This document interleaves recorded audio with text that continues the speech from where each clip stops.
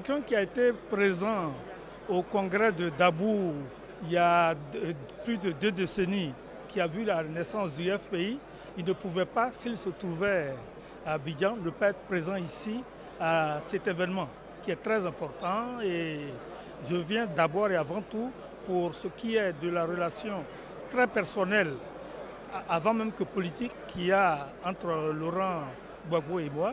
Et puis je me dis aussi que si une personne qui a été ou a exercé le pouvoir d'État pendant une dizaine d'années, ensuite s'est trouvé dans les liens de la détention pendant une dizaine d'années, arrivent et disent que je veux créer un parti, la première chose qui devra animer tout le monde, c'est de venir l'écouter et voir ce qu'elle a proposé.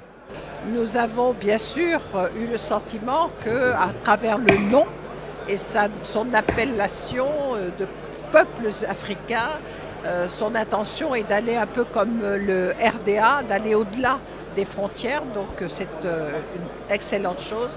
Mais disons qu'avant que nous puissions nous prononcer, nous recherchons surtout, nous, attendons plutôt des renseignements un peu plus précis. Mais vous savez, j'ai toujours dit que pour l'URD, le président Laurent Gbagbo n'est pas notre référent politique, mais il est notre choix. Alors n'oubliez pas, ce dernier mot, il est notre choix. C'est quelque chose de très bien pour la démocratie. Il y a une nouvelle offre politique qui va se présenter aux Ivoiriens. Et comme je suis partisan pour une euh, ouverture politique, une intégration politique, donc c'est normal que je sois là pour encourager ce mouvement. Je pense que ça va dynamiser la vie politique et de ce fait dynamiser aussi la démocratie dans notre pays. Donc je trouve ça vraiment intéressant et, bien pour tous les Ivoiriens et les Ivoiriennes. Elle va au-delà de la symbolique. Elle traduit euh, une dynamique euh, euh, de renforcement de la cohésion sociale. Elle traduit une dynamique de renforcement de la réconciliation sociale née de la rencontre entre les deux présidents le 27 juillet.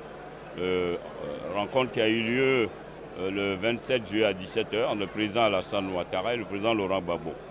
Le raffermissement de leurs relations s'est traduit donc par notre présence. Je conduis donc une délégation à la demande du président Alassane Ouattara qui donc euh, affiche une volonté permanente de pouvoir donc renforcer la cohésion sociale et la réconciliation. Je pense que les Ivoiriens l'attendent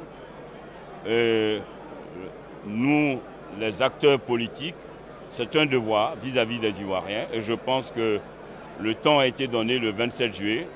Et donc nous sommes dans le prolongement de cette dynamique qui, donc, euh, euh, qui est née de cette rencontre du 27 juillet. Voilà donc le sens de notre présence ici, qui obéit au raffermissement des liens entre les deux présidents. Que le PDC-RDA du président Henri Conabédier c'est un parti de rassemblement. C'est un parti de rassemblement et le PDCI fait partie de l'opposition. Et vous connaissez les relations fraternelles qui existent entre le président Henri Bédier et le président Laurent Gbagbo.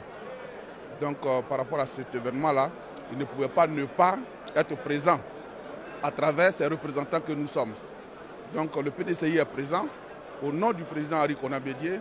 Le PDCI est présent, il y a le vice-président Ezale qui est là, il y a moi-même Gwali Dodo, je suis là, et donc il y a au moins 5 à 6 représentants du PDCI ici, sans compter des militants qui sont venus juste pour accompagner le président Gbagbo dans la création de son nouveau parti. Nous sommes en train donc de remettre en ordre des choses au niveau politique.